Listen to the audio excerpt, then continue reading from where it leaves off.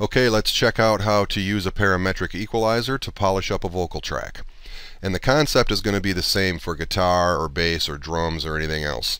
Basically, we're going to sweep the spectrum and identify frequencies we don't like and remove them. You can also identify missing frequencies and add them, but removing the bad ones usually does the trick. What I'm going to do is solo this submix track, which contains all my vocal tracks, and then solo the track I want to work on, and loop a section. And I'll let you hear what that sounds like without any effects on it. It may appear that I am chasing after a long lost dream. Now that's a nice sounding recording all by itself, but it does have a little bit too much low end, and I'm hearing some boxy mid-range in there that I don't like. So what I'm going to do is click the effects button and add the TB parametric equalizer bring up its interface. And for that low end issue, I'm basically just going to pull down this point and sweep out the lows. So let's listen to that while we're pulling out the low end. But your reality is not mine, and I don't need your steam. Now what that does for us is anytime he pronounces the letter P or anything else with a pop in it, it's going to take the low end out so your vocals aren't matching the low end of a kick drum or a bass. And now I'm hearing that boxy mid-range. So what I want to do, if I really don't know exactly what frequency it is, I'm going to take one of these center points and I'm just going to pull it around until I hear what I don't like and I will uh, thin that out a little bit, Q factor. I'm going to raise it to an extreme so I can definitely hear the frequency that I don't like, and then I know where it is I need to pull out. It may appear that I am chasing after a long lost dream, but your reality. It's about right there. So that's about 858 hertz where I'm hearing that boxy sound. So let's pull that out. He is not mine, and I don't need your steam.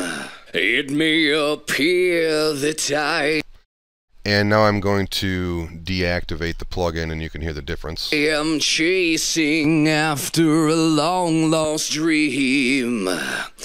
But you're and with my experience, 400 hertz is generally not a good frequency, so I'm going to take this point, raise the Q factor almost all the way up around 400 hertz and pull that out. Reality is not mine, and I don't need your steam. It may appear that I am now at the same time, if you feel that there's not quite enough high end, if you're not getting the uh, crispness, you can take the uh, high end shelf here and just kind of raise it up and down and, and see what a good level is I'm for you. chasing after a long lost dream, but your reality is not mine, and I don't need your steam. It may appear that I am chasing after a long lost. Now, if you're unfamiliar with a parametric equalizer, or maybe the only equalizer you've ever played with is on your car stereo, your home stereo, you'll know that the uh, stereo equalizer on the left are your low end frequencies, in the center are your mids, and on the right are your high-end frequencies. It's the same thing with the parametric, it's just that you have control over every single frequency between the lowest and the highest. Unlike a home stereo or a car stereo where you've only got maybe five bands or three even, and when you raise one of them up you're raising a whole bunch at the same time. This is kind of what a home stereo EQ would look like. We're raising the point here, but we're also raising all these other frequencies. And that's what's great about a parametric is I can thin that down to just that specific frequency using the Q factor. So now I've got tons and tons of frequencies I can adjust to get the best sound possible. A little bit about the controls down here at the bottom. The Q factor is going to be your frequency width, how many frequencies you're actually affecting by moving a single point.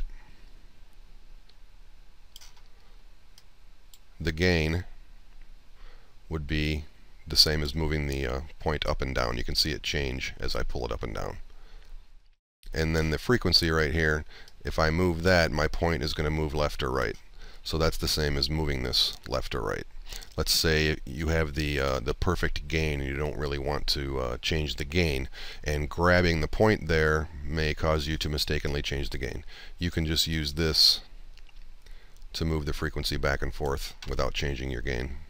Another excellent place to use a parametric equalizer is on your master track. Basically, if you've mixed the song, you've mixed each instrument and each one has the correct sound that you want, then when you go to your master track you can raise and lower frequencies of the total mix all at once.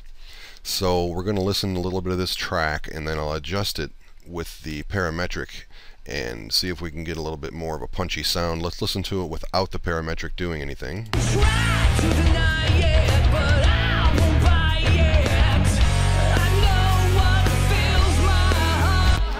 Okay, let's say I want to add a little more low-end punch to that and maybe some uh, high-end crispness. So what I might do is raise the high and low shelving a little bit and maybe pull out uh, a wide sweeping mid.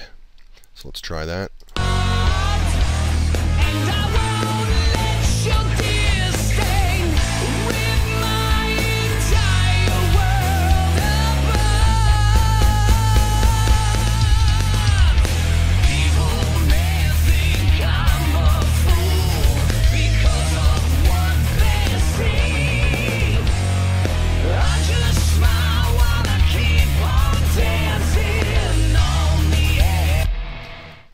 As you can see, the parametric has a dramatic effect when used on the master track and can really enhance your final mix with just the slightest movements of the uh, frequency points.